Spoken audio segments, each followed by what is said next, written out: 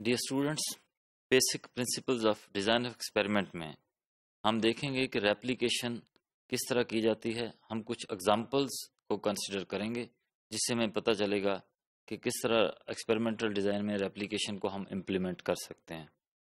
यहाँ एक एग्जांपल ली गई है कम्प्लीटली रेंडमाइज डिज़ाइन की।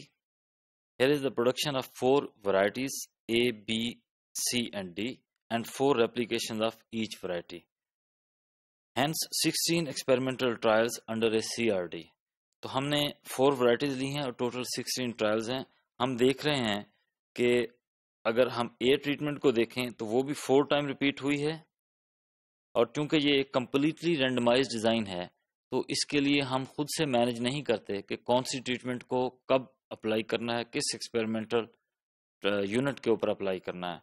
तो बाई चांस ऐसे ही हुआ है कि ये जो फ़र्स्ट एट फील्ड्स हैं, उनमें जो सिक्स जो सेवन्थ और एट्थ फ़ील्ड है, इसमें वैरायटी ए दोनों में आई है और उसके बाद दूसरी वैरायटी जो है नेक्स्ट फील्ड्स में है। तो ये सारी की सारी रैंडम एलोकेशन होगी, लेकिन क्योंकि चार दफ़ा ए ट्रीटमेंट को रिपीट किया गया है, इस तरह फोर एप्लीकेशन हुई। इसी तरह हम देख रहे हैं कि जो बी ट्रीटमेंट है, उसको भी फोर टाइम्स रिपीट किया गया है तो ये एक बैलेंस किस्म का डिज़ाइन है। जो कम्प्लीटली रेंडमाइज्ड भी है और इसमें इक्वल नंबर ऑफ़ रेप्लीकेशंस भी हैं। Blood pressure readings of four patients taking four different medicine each medicine is repeated twice on each patient therefore, a total of 16 experimental trials under this RCBD RCBD is randomized, complete block design, जिसमें variables की base पे blocks बनाए जाते हैं और variables के different levels उनके blocks होते हैं। इसी तरह दूसरे वेरिएबल के डिफरेंट लेवल्स दूसरी साइड के ब्लॉक्स होते हैं। तो ये एक टू वे ब्लॉकिंग है। तो हमने देखा कि पेशेंट्स जो हैं वो भी डिफरेंट हैं एक दूसरे से, कंडीशन के हिसाब से, हेल्थ के लिहाज से और डिज़ीज़ की सिविरिटी के लिहाज से। इसी तरह जो मेडिसिन अप्लाई की जा रही हैं, उसके भी डिफरेंट लेवल्स हैं।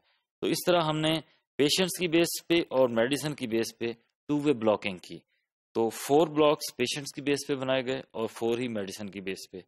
तो ये एक रेंडमाइज कंप्लीट ब्लॉक डिज़ाइन बना। तो हम देख रहे हैं कि हर एक ट्रीटमेंट जो है, जैसे फ़र्स्ट पेशेंट पे फ़र्स्ट मेडिसिन जब अप्लाई की जा रही है तो इस एक्सपेरिमेंट को दो दफ़ा रिपीट किया गया है। इसी तरह किसी भी एक्सपेरिमेंट को हम देखें तो दो दफ़ा रिपीट किया जा रहा है। तो इस तरह टू रेप्लीकेशन हैं इस डिज़ाइन में और इस तरह टोटल एक्सपेरिमेंटल ट्रायल जो हैं, वो थर्टी टू बनेंगे। This is another example, blood pressure readings of four patients taking four medicines, four different medicines. Each medicine is repeated twice on each patient under four diet plans, A, B, C, D. Therefore, a total of 16 experimental trials under a Latin scale design.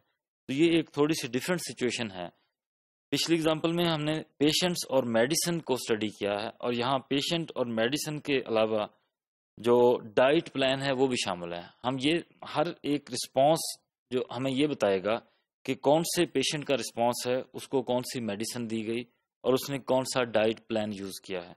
तो ये three way blocking है और हर एक experiment को हमने यहाँ पे भी दो दफ़ा रिपीट किया है। जैसे हम अगर इसको देखें तो ये हमें बता रहा है कि सेकंड पेशेंट को फ़र्स्ट मेडिसिन दी गई और जो डाइट प्लान उसने यूज़ किया, वो ए था। और इस प्लान को हमने दो दफ़ा रिपीट किया। तो इस तरह टू एप्लीकेशन हो गई। इसी तरह हम अगर इस रिस्पांस को देखें तो ये दो रिस्पांस कैसे हासिल हुए? थर्ड पेशेंट को थर्ड मेडिसिन दी गई और जो डाइट प्लान था वो सी यूज़ किया उन्होंने। तो इस तरह ये लेटेंस केयर डिज़ाइन है जिसमें थ्री वे ब्लॉकिंग यूज़ हो रही है।